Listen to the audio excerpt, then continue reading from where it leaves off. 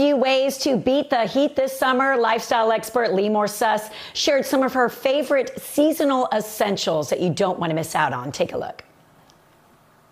Everywhere you go, you need to wear a mask. I know, they're really irritating and not comfortable, but you're going to love this one from My Skineez. Skineez Skincare, the pioneer in wearable skincare, has just added two new innovative products to its skin reparative line to keep everyone healthy and protected. The FDA approved reusable antibacterial face mask provides soothing, cooling protection.